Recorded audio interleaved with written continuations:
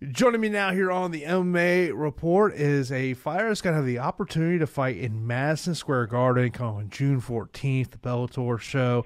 Taylor Turner. Taylor, I, I appreciate the time. Uh, you know, I had a chance to, to talk to you when I was up in Knoxville a couple months ago. Uh, did you, eh, did you, was it ever your wildest imaginations that you would have the opportunity to fight in Madison Square Garden? Oh my gosh! You know, I mean, it no when it when it was offered to me, my jaw just dropped. You know, I mean, even the the opportunity to fight for Bellator first was fantastic, and then I think a little bit later in the conversation, they're like, "Oh, yeah, it's at Madison Square Garden." I was like, "Wait, what?" I mean, that just took my breath away. I was like, "If there is a a place to be, a place to fight, I'd I'd say that is it." So I'm super stoked about it, and yeah, I mean, dreams come true. Was there ever a bucket list kind of venue that you you said before I I, I call it? Uh, you know, an active fighting career that you had on the bucket list? You know, I I would say now that I am fighting, I've I wasn't dreaming big enough because I wanted to put it on there. In the past, I'd say any of my um um like casinos that we fought at, you know, when we went and saw Vince and the MGM Grand in Vegas, like I was thought, oh, that's a really cool place. Like that would be an awesome place to have your your name at. That's another big one, and I, I never even really dawned on me that that Madison Square Garden could be in it. Um, you know, also traveling around the world, I love doing that with people. Oh, those venues, that'd be cool. But no, this one it is now on my bucket list, and I'm, I'm more than I could have asked for. So I'm I'm super stoked and, and super blessed obviously, uh, you know, OSP. We all know who who he is, and he's had a chance to fight in New York. I mean, have you? Did you did you kind of pick his brain of what it was like to fight there, and and, and maybe to kind of to understand the magnitude of what it's going to be like on fight night? You know, I remember right after you know Vince fought there, and obviously he he did very well, and with my husband and stuff too. Just I kind of maybe talked to Eric a lot more about what it was like for him to walk out there and everything, just because he's at my disposal whenever I need him. And Vince is such a quiet person, you know, when it comes to the fame and all that stuff. So he's like, "Oh, it's cool, just a another place, another whatever." But he even did say though, you know, that it it you know, keep your head down, keep in the game, doesn't matter where you go. It's another place, but it is pretty awesome and cool. And my strength and conditioning coach walked out there too, and and he just was floored. So they've all kind of piped in now that I have the opportunity to fight there and like, okay, it is really cool and okay, but still keep your head down. It's another venue. It's another cage. Same thing. So, you know, balancing that excitement with, hey, this is my job and don't get too wrapped up on it. Um, it's that's a, a new lesson. So I'm I'm working on that right now. Obviously, interesting dynamic with you and Eric, husband, wife, yes, fighter, coach is there a separation at some point between that? I mean, obviously MMA is the Turner family business, but it, does there become a separation at some point?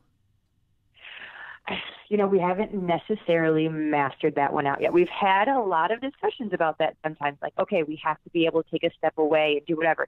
But our lives are both of us are so wrapped up in it. You know, we have our own promotion now, and we have a gym, and um, he's my head coach, and we help coach all the fighters. I'm their, you know, nutrition coach, and and so we talk about it a lot. Um, there are times that we do have to kind of take a step back and be like, okay, let's put that on the shelf for now, like work. Let's talk about all the other stuff, and and we have a, a great relationship and talk about all kinds of stuff. Um, so you know, there's options. Shut the door, please. Um, so that's good. And you know, it's been a learning experience, I'd say. For I can speak for myself. You know, if you want to talk to Eric, you'd be here and you can talk to him too. But I've, there's been great parts about having him as my coach mm-hmm. and husband, um, and then there's been some hard parts because you know he's the person I, I in the world that I care about his opinion the most. And when you don't feel like you're doing well or don't feel um, like you're you're you know living up to his name and his standards, I mean, it, you take it personally. And when you come home it's hard then as a wife to be like, I didn't really do well in the gym today, or he's like, no, you did. And he's like, no, I don't know if I did. I want to represent you. So I've actually struggled in some of my fights with that before, um, and that's been an important uh, milestone for me to kind of recognize and get over, and and do a lot of uh, kind of the sports therapy through it, and uh, so it's not easy to separate it. I, it. I'm sorry for the messy answer, but that's just yeah. kind of the the dirt of it. It's it's wonderful. And I've always said, you know, with him by my side, I can go farther than anybody else, but because we have such a tight relationship and we know each other so better, but we also have anchors that are harder to to pull up at times too. So we fight harder for it, but I think it can go farther too. And, and of course, things have gone great for you here in your last two fights. Now you got this one. And of course, you know Heather. Everyone knows about her boxing. As you and Yeah. the team there at KMA ha- have gotten ready for this fight, is there something that surprised you about Heather in terms of her mixed martial arts abilities? Well, um, I would say you're right. First, everybody knows about her and what a great boxer she is, and and her pedigree. Um, she trains with a good MMA gym too, so you know she's got a good background. I really don't watch the film. I let Eric do that. I let that go just because, once again. In the past, sometimes when I've done that, it's easy to almost get obsessed with your opponent um, and be like, what are they going to do? What do they do there? And in the end, it takes away from what I can do. So as far as our game plan, sort of, or about her and her MMA, um, I just know that she has worked hard and she's got a good camp behind her. But I've been doing MMA for much longer, so I think that's a, an advantage for me, to be honest. So that's the extent I know about her, but I know about me, and I do well. I mean, is it one of those things of, of you just eh, prefer not to really sit there and, dive deep into uh, an opponent's film and just and, and so it's just more about concentrating on your own abilities and and let the rest of your team kind of worry about what the opponent may be looking to do? Yes, a hundred percent. Um, like I said, I, I, it is sometimes easy as a fighter to watch film or kind of get involved in it. And Eric was, has pulled some out, and he'll tell me when he wants me to watch stuff and and go for it. So we're getting away from a lot of that as far as for me. Now there are a million different fighters out there. There's a million different types of mentalities, I think, and um, for me specifically, and I know a couple of the other people on our team, Eric has found that having you know, sitting and watching too much film and having hardcore game plans isn't the best way for us to go forward. I mean, we, we have a game plan. We have basic knowledge. I mean, you're just ridiculous if you don't study your opponent at all, you know, and you just go into it blind like that. Not a smart choice either. But for some of us, uh, there's been times in the cage in the past that we've learned that um, if we have a game plan and then something goes wrong, you know, uh, go for a certain takedown. Oh, I didn't get it it, where I'm a perfectionist, if I didn't get it, then it's like, oh, what do I do now? And it's like, no, slow, you know what you're doing. But if I'm obsessed with the game plan, so Eric, um, with me, one of my other teammates, Chris Ricker, she's very similar to me in that we're kind of getting away from the don't don't just do this or this isn't the exact thing. You know, you don't have to do this combination into this. It's more of a, hey, these are her strengths. Let's watch out for this. This is where you know she might struggle some, and let's let's capitalize on that if we can, and let's go with the flow. So we're we're focusing on that a little bit. You, you I'm sure you understand that you are going to be viewed as as the underdog in, in this fight. Oh yeah, For- I- yeah. They. I mean, it's not like I'm telling you anything you don't know. But for those people that are going to outside looking in, they're gonna you know pull up the DAZN on, on June the 14th, and they're gonna say Taylor's got no shot. What would you say to those fans? I mean, they can have their opinion, and I, I, I think as you listen to any um, interviews and and what people say, or you know, the internet probably is the worst one to go for. They're all going to say that until I go out there and showcase and do whatever, and then people are gonna be like, "Oh, they do awesome over here." So anybody who says I don't have a shot just clearly hasn't really watched me at all either, which is fine. I don't mind being underrated. I don't mind being the underdog. Um, in as I've watched my own journey, I've gone back and watched some of my fights and, and personally know where things have gone wrong. And honestly, for me, it was it, physically I've, I've developed over time, but there was a lot of um, more of the mental game for me. Um, sometimes people have always talked about, oh, you're too nice to fight. I was like, no, I'm not. I'm I love to fight. But, but honestly, after a while, I realized I think I was for a little bit because when I would watch film or you learn about your opponent, you're like, oh, they're so nice and they have a dog or they have kids and they're a person too. I feel bad hitting them. And it had to get to a point where I was like, oh, wait a second. They want to be here and I'm not doing them any favors if I go easier or, you know, if I think about them too much. Like everybody wants to have a good competition. So I'm, I'm only being nice if I give a good competition. So if people go back and watch some of my fights, I'd probably say they, you know, and how aggressive Heather is in it. And I haven't always um, showcased that part of it. Um, now, in my past recent fights, I think I've I've given more a glimpse of me being able to turn it on and be like, okay, we're in here, we're having fun, we're doing this. So they're going to say what they're going to say, and I hope to disappoint all of them. So Do you at all kind of? I mean, because uh, uh, outside looking in, I think they would say all the pressure's on Heather. She's expected to win. It's in New York City. This is where she trains. This is where she lives. You're you're coming in from Knoxville. Do, do you view that as say like that all the pressure's on her, and and maybe that's something that you can capitalize in in the fight? Well, one thing I if I start thinking about her mentality too much or what she's doing, it for every for every ounce of energy I put towards her, it takes away from me. I would say, um, you know, I've she's obviously has a huge name, you know, and she's got lots of people watching her, and I know what it's like to kind of get into a smaller cage and have some people watching you and, and know what it's like to put that self-imposed pressures on. Um, and so I could assume that she's probably worked through a lot of that being in the, you know, she with boxing, you get a lot more fights than you do in MMA on a regular basis. So she's probably worked through some of that, but, um, I, yes, if it were me, and I know I've done that before, that's where you tend to put more of the pressures on yourself. It's because hometown, all that stuff. So, but somebody like her who is seasoned, I mean, I, like I said, I don't want to to to bank on that or oh yeah, she's going to be mentally whatever because she's proven to be mentally strong too. So she could be a person that that turns it on really well. So, and that's where I'm, like I said, I'm just, I'm. She seems like an awesome person. I'm blessed to be able to even be able to fight her, but I don't want to know too much about her. So. And Does that I make know, sense?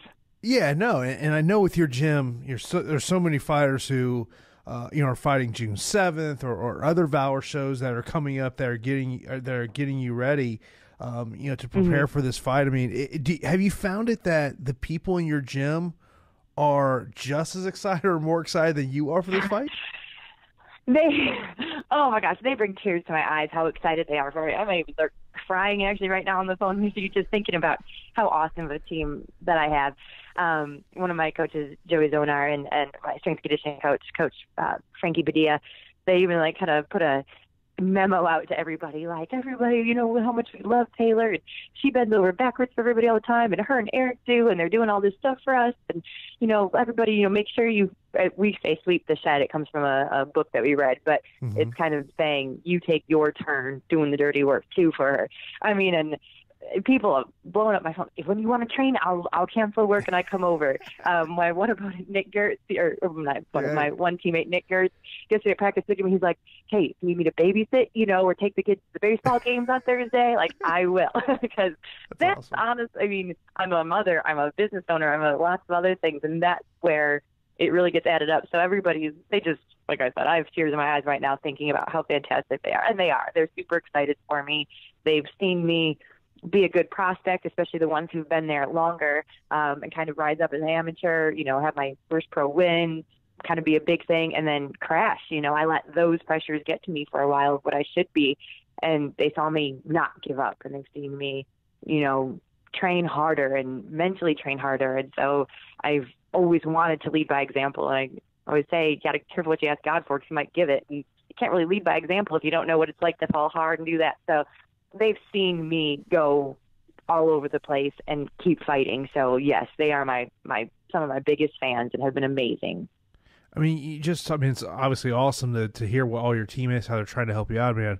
As someone who's uh, involved in multiple businesses, you know, one of the things I have a hard time is, is how do I, you know, adjust my schedule? Hey, I need this here, this here. For you, is it ever kind of a, a struggle of, okay, you know, obviously you're getting ready for your fight. You, you've got the gym business. You, you've got you know the business of, of, of Valor Fighting Challenge, and and obviously your home life with, with your husband and children. Do you ever find that as a, a tough way to balance everything and get everything in that you want to accomplish in a day? Oh yeah, I do.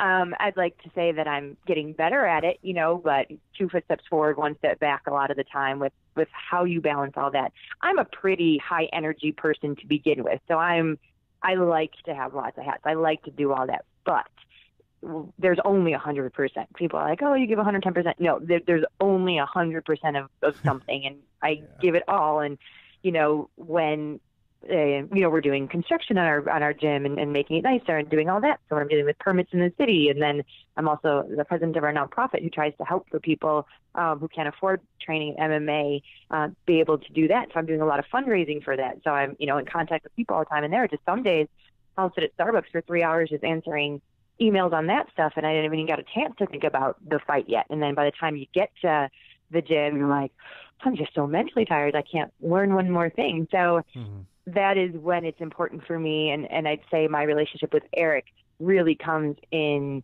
probably one of the most beneficial spots because he can read me better than anybody else. And he knows when it's like, you're smiling, but that's not like a real smile. And I just, you know, he's like, you're doing all the right things and saying all the right things and helping all the right people, but you need to take a bit, right, sit back, do this. And normally I fight him on it for a second, like, no, I can do it. I'm fine. I'm great.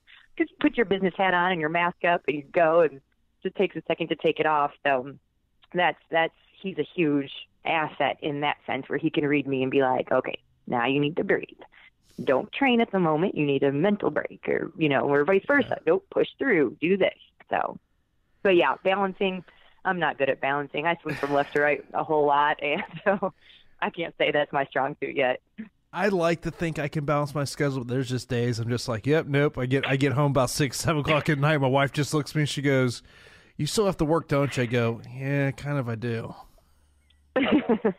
yeah, it's there, and you're right. I mean, just because you leave and, and there are times that it, you can like say okay i'm going to put the phone down i'm going to put this out of sight out of mind but when you're when you have so many things and there's pressing if you don't do it it's not going to get done so mm-hmm. um, eric is, is very similar i mean he's the mastermind behind all of our our successful businesses you know i have no problem saying and I understand him, and there are times like I'll have to look at him and be like, "Okay, I know you just got on me for working too much, but you need to you know, stop answering this question and, and at least give me a time when it's going to stop. And so we kind of try to help each other out in that, but it doesn't always work.